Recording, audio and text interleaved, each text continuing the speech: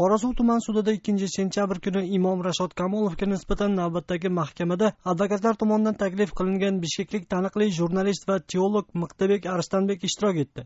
U kamolovga ayblov qo'yilishiga sabab bo'lgan imom ma'ruzalarini ko'rib chiqqanini va unda mamlakat qonunlariga zid bo'lgan so'zlar topmaganini aytdi. O'sha kamolovdan men kun videoda aytgan so'zi bu cheyinki aytilgan birda legallik politologiya ilmidan kelgan tushuntirmalardan ayirmasi yo'q o'sha kamolovdan men ko'rgan videoda aytgan so'zi buga cheyinki aytilgan birda legallik politologiya ilmidan kelgan tushuntirmalardan ayirmasi yo'q rashod kamolovning xalifalik to'g'risida aytgan so'zlari bilan siyosiy ishtihod egalarining va zamoni olimlarining fikrlari hamda politologiya ilmi asosidagi tushuntirishlar o'rtasida hech qanday farq yo'q. Shu sababli men rashod qori xalifalik so'zining diniy talqinini tushuntirgan deb bilaman. Men rashod qorining videosini sudgacha ko'rib chiqib yaxshi tushuntiribdi deb xursand bo'lgandim. Rashod qori ma'ruzasi bilan davlat tuzumini ag'darishga harakat o'rtasida qanday uzviylik borligini tushunolmadim dedi miqtabek arstanbek. Kamolovning advokati nazgul suyunbayeva jurnalistdan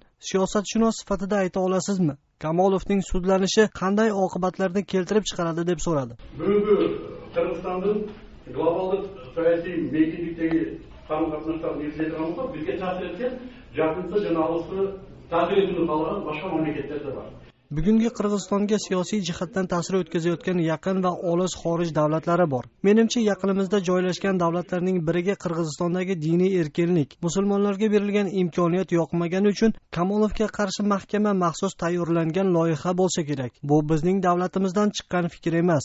Men davlatimiz imomlarga bunday munosabatda bo'lmasligiga ishonaman deydi miqtabek arsanbek u shuningdek rashod kamolov qamalgan taqdirda qirg'iziston diniy platformasida norozi qatlam paydo bo'lishi xavfi bor ekanini aytdi. Shuningdek u o'zbeklar orasida obro'ga ega bo'lgan kamolovni qirg'iziston diplomatik vosita sifatida foydalanish kerak deb hisoblaydi. O'zbek urushundagi ellarga degan qirg'iziston emas borborda o'zbek urushundagi ellarga avtoritet va bunday bo'ladi mamlakat diplomatiya xarajat qator qo'llansa bo'lmaydi o'zbek millatidagi xalqlar faqat qirg'iziston emas markaziy osiyodagi o'zbeklar orasida obro'ga ega bo'lgan bunday yigitni davlat diplomatik vosita sifatida qo'llanishi mumkin edi. Shuningdek o'zbekiston bilan munosabatlarda va boshqa o'zbek xalqi orasida diplomatik munosabatlarda bu kabi kishilarni eng katta vosita sifatida qo'llanish mumkin edi. Bu masala qorasuv sudiga qo'yilgan juda og'ir mas'uliyatdir. Shu sababli sud qarorini kelajakda mamlakat va din o'rtasidagi munosabatlarning eshigi deb hisoblayman deydi miqtibek arstanbek taniqli imom etnik o'zbek o'ttiz yetti yoshli rashod kamolov shu yilning to'qqizinchi fevral kuni